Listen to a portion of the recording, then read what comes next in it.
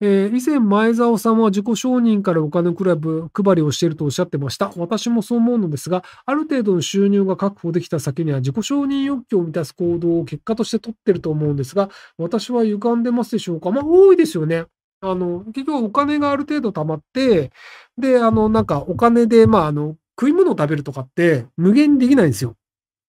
で、あの、お金が貯まった人って、割とそうなんかあの、いい車を買うとかやるんですけど、で、いい車買ったとしても、大体乗らなくなるんですよね。まあ、そんなに車乗っていくとこないじゃん、みたいな。なので、あの、まあ、車買って置いときましたってなんですけど、で、その後、あの、ありがちなのが旅行に行くっていう。で、あの、まあ、いろんな旅行って一通りやると、まあ、こんな感じなんだよねって分かって、で、大体お金持ちの人がずっとハマり続けるのが、高い食い物を食うなんですよ。で、あの、まあ、あの、いいお寿司食べますとか5万円ですとか、っていうので、その高い食い物を買い食い続けるっていうのになるんですけど、で、結果として、その、高い食い物って、そんな、まあ、美味しいものはそれなりに美味しいんですけど、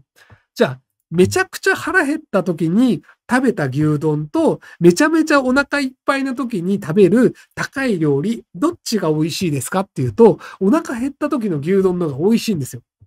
で、その、お腹いっぱいの時って何食っても別にそんなにあの、美味しいって感じないんですよね。まあ、味としては美味しいけど、別にこれじゃあこれ以上食いたいかっていうと、別にそんなに食いたくならんよねってなったりするんですよね。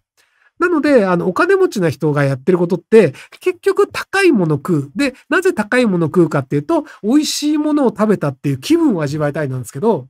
美味しいものを食べた気分を味わいたいんだったら、飯食わなかったらすぐになれるんですよ。なので、あの、例えば24時間何も食いませんでしたってなると、その次食べるものってめちゃめちゃ美味しく感じるんですよ。もしくはめちゃめちゃ運動して腹減ってる状態にするとか、喉乾いてる状態で、あの、水飲むとか、めちゃめちゃ水が美味しく感じるんですよ。